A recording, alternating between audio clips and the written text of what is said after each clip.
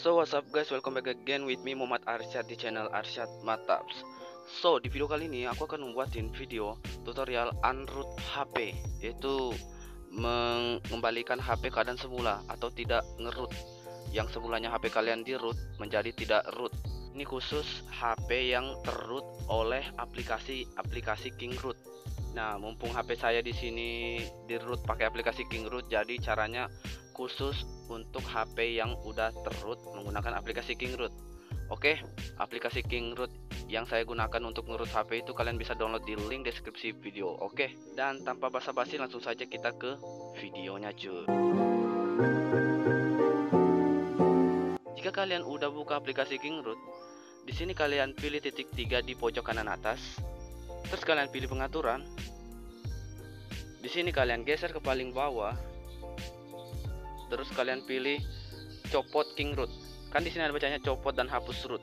Kalian pilih copot king root. Nah tunggu dulu. Saya kasih tahu dulu ya.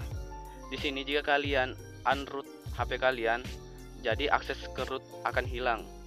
Sehingga HP kalian itu akan menjadi seperti tidak di root lagi.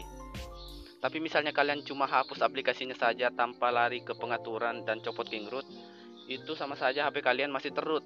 Kalian harus masuk dulu ke pengaturan, copot dan hapus root. Jadi HP kalian itu mulai tidak terroot lagi. HP kalian akan kembali seperti semula. Terus di sini kalian pilih lanjutkan.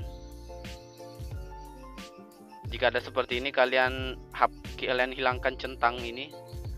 Karena jika kalian centang maka HP kalian itu sama sekali akan terut lagi cuy jadi kita hilangkan centangnya aja terus kalian pilih OK maka dia akan memproses.